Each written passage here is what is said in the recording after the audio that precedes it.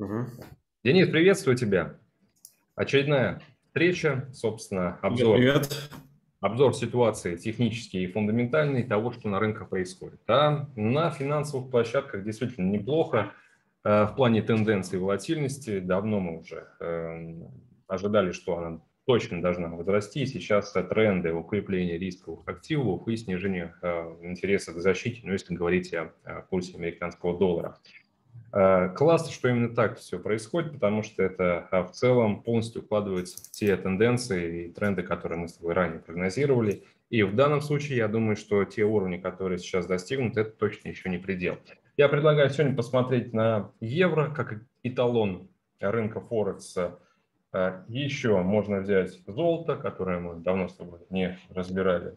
Ну и э, в целом также можно посмотреть и нефть, который продолжает переписывать многолетний максимум. Так, э, давай тогда к демонстрации рабочего стола. Денис, ты на связи? Угу. Да, да, у меня просто периодически прерываться будет. Ну, это не обращай внимания. Да, я понял. Хорошо, что картинку потушил. Э, так точно. Есть больше шансов сохранить соединение стабильно. Так, ну что, Сейчас, э, друзья, на ваших экранах пара евро-доллар. Котировки 1.1638. Если мы будем соотносить э, то, что происходит с евро с э, курсом доллара, понятно, при текущем прессе на индекс американской валюты, ну, если вот не брать в расчет последнюю свечку и то, что на азиатской сессии индекс доллара котировался в районе 93-50, я, э, друзья, абсолютно уверен, что такая тенденция сохранится и дальше по доллару, поэтому считаю, что риск будет э, э, тем самым сектором финансовых рынков, который выиграет от этого.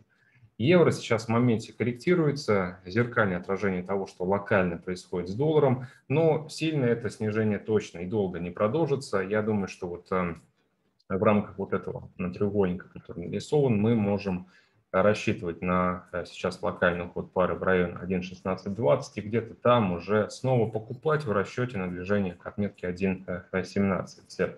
Здесь не хочется даже сейчас говорить непосредственно про э, фундамент, э, связанный с именно европейской валюты, какие-то отчеты, они не имеют значения сейчас, движущая сила – это доллар, но евро в целом будет еще, на мой взгляд, интересен в качестве валюты фондирования из-за сохраняющейся разницы в процентных ставках, потому что если попробовать порассуждать там, перспективой э, кварталов, то, скорее всего, ФРС будет первым регулятором, если сравнивать ЕЦБ и американский регулятор, то есть Европу и США. ФРС будет первым регулятором, который ужесточит политику, и, э, соответственно, это скажется на э, курсе европейской валюты. А что касается рынка нефти, здесь можно просто даже перечислять факторы, по которым, из-за которых э, нефть сохранит этот восходящий тренд. Это всем известный уже кризис топливный, энергетический, последние, э, опять же, надежды, э, которые для продавцов были связаны с тем, что Россия значительно увеличит поставки газа на территории Европы, это несколько снизит эти опасения, которые ранее присутствовали, что в момент начала активного зимнего сезона сырья просто не будет. Но у России есть определенные условия. Эти условия со ссылкой на Bloomberg упираются в разрешение одобрения регуляторов на перегон этого самого газа через газопровод «Северный поток-2», против которого активно выступают представители, в том числе и многих европейских стран.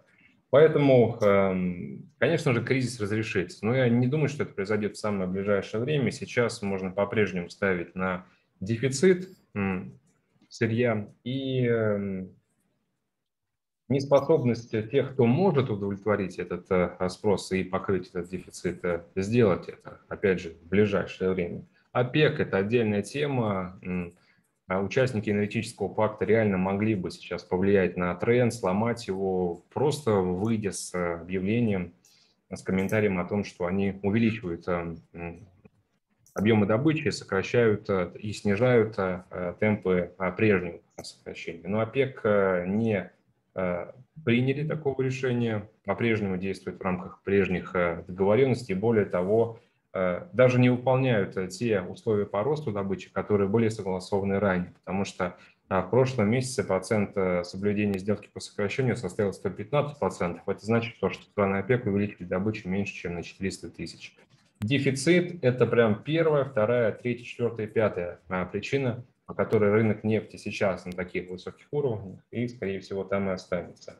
Запасы, которые вышли вчера, и запасы нефти, бензина снизились. Вот еще один позитивный э, фактор. И э, слабый доллар. Поэтому, друзья, очень хорошая точка входа может быть в районе 84 доллара за баррель. Это как раз еще э, уровень, который связан с границей, нижней границей восходящих каналов. Там находится скользящее среднее 137 э, периода. Присмотритесь к нему, думаю, что оттуда может последовать дальнейший рост к целям City Bank of America на отметке 90 долларов за бар. Так, и что касается золота, сейчас э, тоже движемся в рамках э, треугольника. Быстрой победы у покупателей не получилось, то есть когда котировки снова улетели в район 1800 долларов за тройскую унцию, но еще не вечер. Я думаю, что можно пересходить в лонги, то есть открывать для тех, кто еще этого не делал, поближе к уровню 1770-1775, это такой диапазон. А выкупать с целями движения в район 1800. А, и основная, опять же, а, причина – это все-таки сохраняющийся прессинг на доллар, который, на мой взгляд, продолжится, потому что все больше сомнений в том, что ФРС к концу этого года пойдет на сокращение программы количественного смягчения и впоследствии на повышение процентной ставки к середине следующего года. Короче, тренды продолжаются, друзья, на коррекцию особо не обращаем внимания. Э, думаю, что эм, по тем активам, которые я только что назвал, нас ожидают э, обновления тех э, экстремальных таких уровней, которые мы тестировали в последние дни. Так, Денис, слово тебе. Так, хорошо, сейчас включаю демонстрацию, надеюсь, вытянет. Mm. Так, хорошо видно, да, по идее? Да. А, касательно евро, ну, вообще, в принципе, если вот я тебя послушал, и э, если взять в целом все инструменты, которые только что а, ты озвучил, то есть евро, золото и нефть, то я абсолютно по ним согласен, у меня точно такой же сценарий основной, то есть я евро еще с начала а, этой торговой недели держу в покупках от 1.1620, не исключаю, что цена может попытаться еще раз протестировать эту область, эта зона покупателя, она совсем небольшая, но в принципе ее тест вполне возможен, но в целом стратегически я бы сказал, что у нас реально такая вот более-менее значимая цель, хотя бы ну, вот на эту неделю, возможно, на следующую затронут, это 1.17, 1.1750. Вот, это такая вот промежуточная ближайшая, потому что я склоняюсь к варианту, что вот, вот а, вся долгая и нудная коррекция, которая у нас а, формировалась еще с начала года, что она подходит к своему а, логическому завершению. Если это действительно так, то это будет, конечно, супер, потому что возможности и потенциалы для покупок будут просто огромны.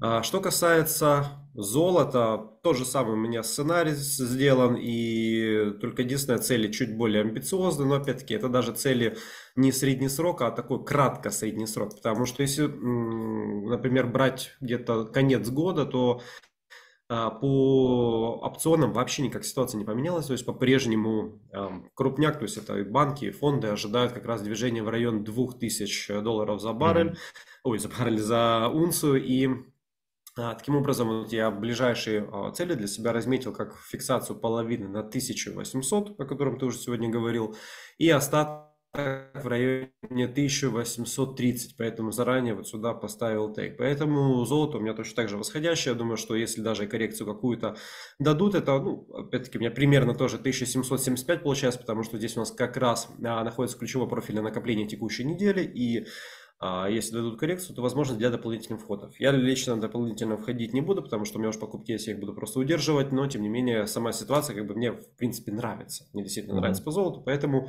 а, буду просто покупку удерживать. Если вдруг произойдет что-то такое из ряда вон выходящее и пробьют там эту зону будут как-то ниже, все равно буду рассматривать э, сделки исключительно на покупку.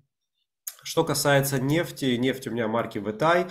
А, вчера очень неплохо а, вверх вот скакануло, ну это опять-таки в моменте внутри дня было, и в целом ожидаю, что хотя бы протестируют область в районе уровень в районе 85. Это для начала, потому что именно там находится на данный момент опционная Э, опционные границы недели и плюс еще и контрольно-маржинальная зона. От нее уже могут э, так более-менее уйти вот в коррекцию снова к вчерашним минимумам. Здесь вот даже а, стоит у какого-то крупного рыночного участника большая достаточно лимитка. Вот ее даже хорошо видно.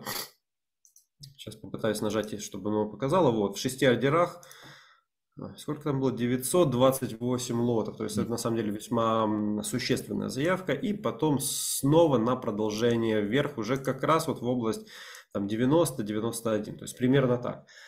Это общая схема, потому что, естественно, в процессе будет все это детализироваться, то есть там какие-то коррекции чуть глубже, какие-то чуть меньше, но в целом, то есть общая стратегическая направленность, я думаю, будет плюс-минус примерно такая же. Поэтому сейчас в моменте мы видим а, коррекцию, как раз цена подходит к области поддержки, то есть где-то 82,5 еще могут запросто откорректировать, но затем все-таки жду а, добой повыше, потому что вчерашние объемы, которые заходили, это сейчас как опорный объем, а для покупок они достаточно сильные. Поэтому тут я с тобой полностью согласен и по нефти, только единственное, у тебя, у тебя бренд, у меня марка VTI, ну, общая корреляция у них все равно в одну сторону. Uh-huh.